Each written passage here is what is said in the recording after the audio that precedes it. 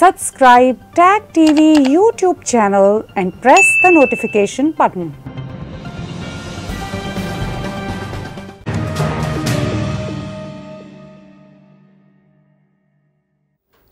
Corona pandemic की अगरचे vaccine दुनिया भर में आ चुकी है, मगर इसके बावजूद अभी तक इंसानियत को कोरोना पेंडेमिक से ठीक ठाक चैलेंज है भारत पाकिस्तान से फिर खबरें आ रही हैं कि कोरोना पेंडेमिक फिर से सर्ज कर रहा है और यही मसला यूरोप, अमेरिका और कनाडा में है। यहाँ कनाडा में भी बातचीत हो रही है। कहीं थर्ड वेव तो इसकी शुरू होने वाली नहीं।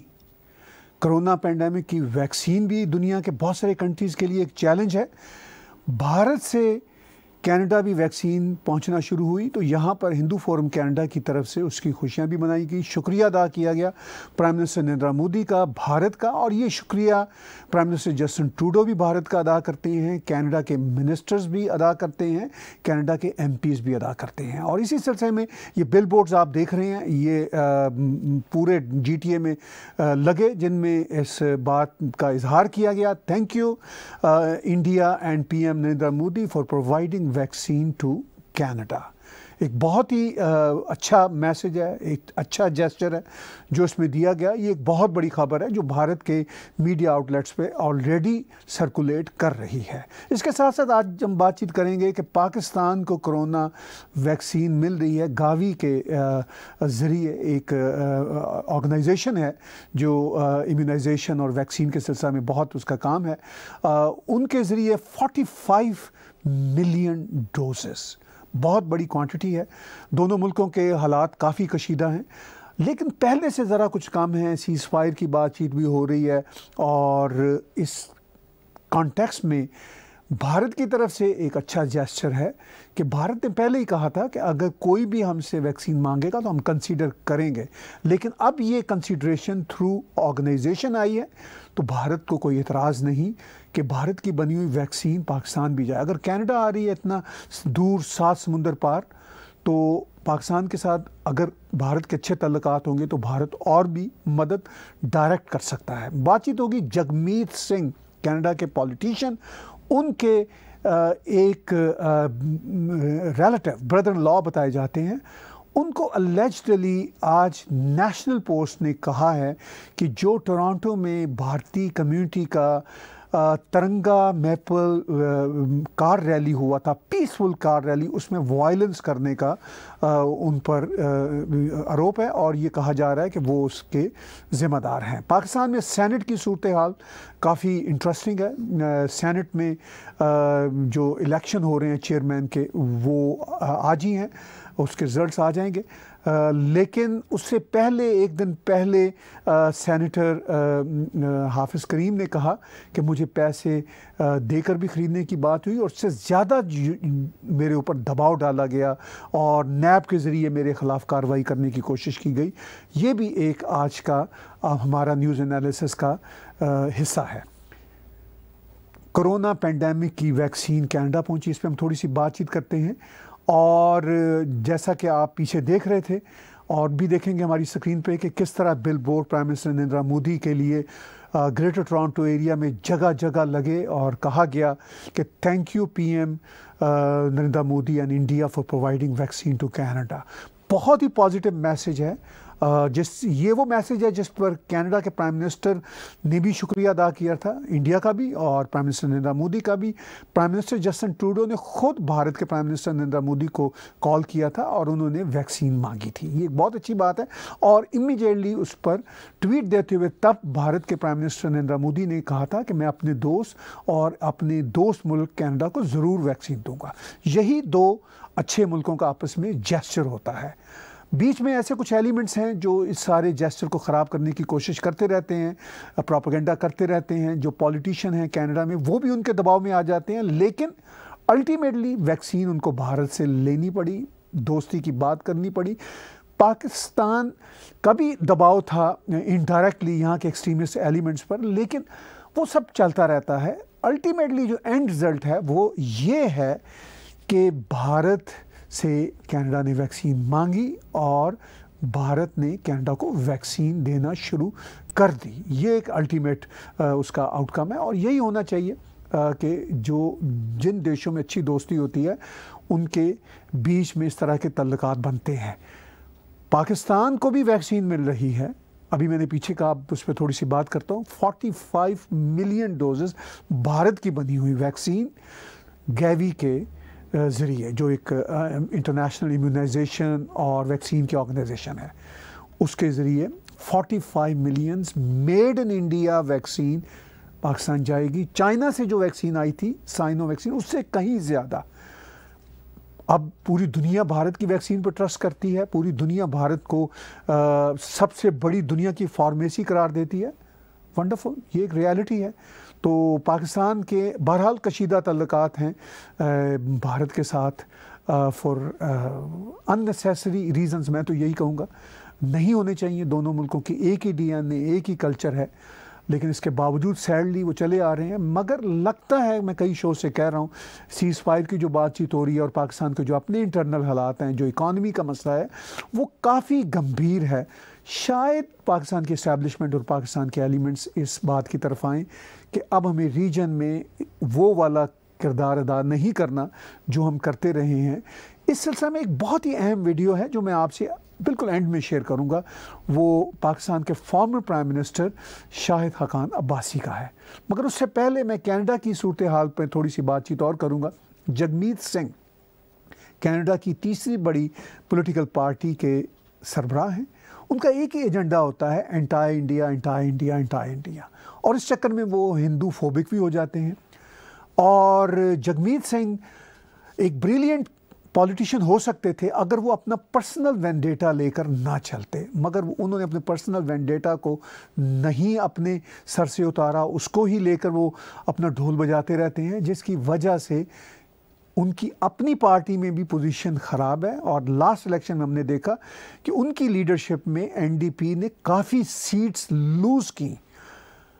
बहरहाल, ये उनकी चॉइस है कि क्या वो इस तरह अपनी पॉलिटिक्स किस तरह आगे कर सकेंगे और कैनेडियंस आवाम को, यानी हम कैनेडियंस को कैसे बिट्रे कर सकेंगे कि एक फॉरेन कंट्री के हवाले से वो एंटाई एंटाई बात करते रहते हैं। और वो भी ऐसे फॉरेन कंट्री के हवाले से, यानी इंडिया के हवाले से, जो कनाडा का अल्टीमेट दोस्त है।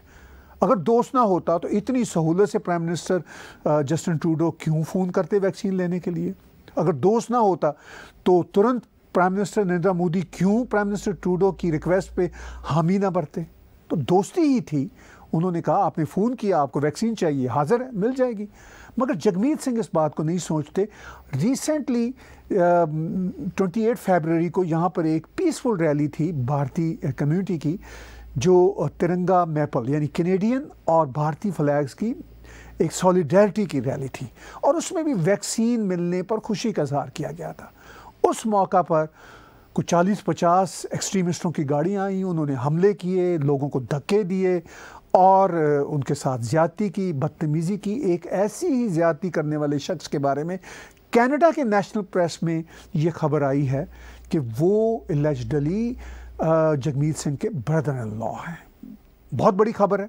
अब देखते हैं आने वाले दिनों में यहाँ के लॉ इन्फोर्समेंट एजेंसीज यहाँ के पॉलिटिशियंस किस तरह इस बात को देखते हैं और इसको कैसे आ, इसका नितारा करते हैं। लेकिन ये वाकई अलार्मिंग बात है कि जिस तरह का वायलेंस यहाँ पे बढ़ता चला जा रहा है Canada is not meant for any kind of violence sadly ये इम्पोर्टेड जो वायलेंस है ये ये अच्छा नहीं है. आ, इसको ख़त्म होना चाहिए. बहरहाल अब देखेंगे कि इस पर आगे आने वाले दिनों, हफ्तों में क्या नई डेवलपमेंट आती है, हम आपके सामने उस पर भी चर्चा करेंगे। आखिर में पाकिस्तान में जो सैनट के इलेक्शन हो रहे हैं और उसमें जो एक्चुअली वो चेयरमैन का इंतखब होना है, और देख देखने वाली बात ये है, सबकी नज़रें लगी हुई हैं। जब रिज़ल्ट आएँगे तो क्या मिस्टर यूसुफ रज़ा गिलानी जीतते हैं? जिनके पास लगता है कि शायद मेजोरिटी हो, मगर हकूमती सतह पर उन्होंने पहले भी मिस्टर सादक संजरानी को कामयाब करवाया था। अब भी पीटीआई की सरकार चाहती है कि कामयाब करेंगे। आ, उनको ही और इसी सिलसिले में उन्होंने सैनिटर हाफिज़ साहब को प्रेशराइज भी किया और ये पाकिस्तान की लॉ इन्फोर्समेंट की एजेंसियाँ कर रही हैं। वो कह रही हैं कि ये ना करें। आईएसआई का नाम लिया है पाकिस्तान के former prime minister Shahid Khaqan Abbasi ने। आ, मैं चाहूँगा कि ये वीडियो क्लिप आपको दिखाऊँ फिर इस पर मैं कमेंट्री करूँगा। बल्कि आज मैं मीडिया के सामने ये बात करना चाहता हूँ कि नैब को भी मुक्ताया दो साल। एफ़ आई ए और एंटी करप्शन के अभी पर्चे शुरू हुए जब से ये इसका सेनेट का शेड्यूल का ऐलान हुआ। एक ऐसी पुरानी एफ़ आई आर 2016 की जिसमें मेरा नाम नहीं था। अभी उसमें मेरा नाम डाल दिया गया है, सिर्फ़ इसलिए कि प्रेशराइज प्रेशराइज करें और अपनी मर्ज़ी का वोट ले सकें। कि आईएसआई के अफसरान टेलीफोन कर रहे हैं सेनेटर्स को। मैं फिर ये कहूँगा, नाम बिल्कुल लिए जा सकते हैं, नाम भी इनके पास हैं। लेकिन नाम लेने का यहाँ मकसद नहीं है। यहाँ मकसद मुल्क के मफाद की बात करना है, इस जमहूरी अमल की बात करना है, इस जमहूरीत की बात करना है, जो आज पाकिस्तान में है। हम तो खुश हुए थे जब D G S P R ने कहा, जी, मैं, कि हम, हमारा कोई ताल्लुक सियासत से नहीं है। लेकिन इस सेनेट के इलेक्शन में जो हालात पैदा हुए हैं, एक दफ़ा नहीं, दो दफ़ा नहीं, तीन दफ़ा नहीं, दसों दफ़ा, हाफिज करीम साहब तो एक शख्स हैं। यहाँ बहुत से सेनेटर्स को ऐसे टेलीफोन आए। बहुत से उन्हें शायद बताया भी ना हो। ये बदनसीबी है मुल्क की कि अगर हम जमहूरी अमल को नहीं चलने देंगे तो पाकिस्तान तरक्की नहीं करेगा। हमारी मकसद आज का ये बात पाकिस्तान के अवाम के सामने रखना है, ये मुकदमा उनके सामने रखना है कि जब तक मुल्क में जमहूरी अमल आइन के मुताबिक नहीं होगा जब तक हम उस किस्म के काम करते रहेंगे जो हाफिज़ अब्दुल करीम साहब के साथ हुए हैं तो फिर पाकिस्तान में की मीशत के साथ वही होगा जो आज हो रहा है। फिर पाकिस्तान के साथ वही होगा जो आज हो रहा है। ये बदनसीबी है कि आज भी, तिहत्तर साल के बाद भी, इस इक्कीसवीं सदी में भी हम वो काम कर रहे हैं जो दुनिया में कोई मुल्क नहीं करता। ये हुआ करते थे एक ज़माने में, आज से पचास साल पहले, चालीस साल पहले। अब कोई मुल्क इस अमल, ये काम नहीं करता। हम आज भी वो काम अपनाए हैं और उनके असरात जो हैं, वो आपको मुल्क में महँगाई की सूरत में, मुल्क की मीशत की तबाही की सूरत में, मुल्क की साख की कमी की सूरत में नज़र आ रही ये मकसद था आज इस प्रेस कॉन्फ्रेंस का। पाकिस्तान के former prime minister Shahid Khaqan Abbasi ने जिस दुख भरे लहजा में बातें की, वो आपने सुनी। वो बातें मैं नहीं कर रहा या कोई पाकिस्तानी डीप स्टेट के जो क्रिटिक हैं वो नहीं कर रहे ये वो साहब कर रहे हैं जो पेट्रॉइट हैं जो मद बहुत ज़्यादा पेट्रियाटिक समझे जाते हैं पाकिस्तान में। नरम लहजे के प्राइम मिनिस्टर हैं जिनके अपने रिश्ते नाते भी इस्टेब्लिशमेंट के साथ हैं इनके अपनी आ, इनके अपने ख़ानदान के लोग भी इस्टेब्लिशमेंट के साथ हैं। मगर वो भी दुख से ये बातें कर रहे हैं सुधार के लिए ये बातें कर रहे हैं। वो ये कह रहे हैं कि आईएसआई के लोग आज भी फ़ोन कर रहे हैं आईएसपीआर के डायरेक्टर जनरल की इंश्योरेंस के बावजूद के सियासत में वो हिस्सा नहीं लेंगे, लेकिन वो कहते हैं आज भी फ़ोन कर रहे हैं। हाफिज साहब, जो एक मजहबी नफीस आदमी हैं, उनको फ़ोन कर रहे हैं, उनको डरा धमका रहे हैं। तो ये आप अंदाज़ा कीजिए कि अगर मैं इस तरह की बात करूँ या कोई और करेगा तो हम तो गदार हो जाते हैं। ये पाकिस्तान के एक फॉर्मर प्राइम मिनिस्टर शरीफुल नफ्स आदमी, शाहिद खाकान अब्बासी, जिनके अपने रिश्तेदार भी आर्मी में और इस्टेब्लिशमेंट में हैं। वो ये बात कर रहे हैं, वो कह रहे हैं कि तिहत्तर साल से हम नहीं बदले। हमारी इस्टेब्लिशमेंट से यही गुजारिश है कि उनकी बात सुन लीजिए। आप आप हमारी बात पे गौर ना कीजिए। सिर्फ़ उनके अल्फाज देख लीजिए, वो कहते हैं कि इसी वजह से हम तरक्की नहीं कर पा रहे। हमारी मुआशी हालत बहुत बुरी है। वो ये साफ़ कहते हैं कि पाकिस्तान जो आज जहाँ है, वो शायद इन्हीं रवैयों की वजह से है। वो साफ़ कह रहे हैं, मैं नहीं कह रहा, वो कह रहे हैं। मैं सिर्फ़ उनकी बात को दोहरा रहा हूँ। वो भी भला चाहते हैं, मैं भी भला चाहता हूँ पाकिस्तान का भी और उस धरती का और उस रीजन का भी। और जो इंसानी हकूक़ की वहाँ पे पामाली हो रही है, वो मेरी भी ख्वाहिश है कि ना हो चूँकि उसमें पाकिस्तान की ही बेहतरी है। लेकिन इंसानी हकूक़ की पामाली का ये जो वाक़ है, अभी सैनट के इलेक्शन के सिलसिला में जिस तरह हाफिज़ अब्दुल करीम सैनिटर को फ़ोन कर रहे हैं, वो कह रहे हैं और भी कई सैनिटर्स को फ़ोन जा रहे हैं, कई तो बता देते हैं, कई बेचारे डरते हुए बताते ही नहीं हैं।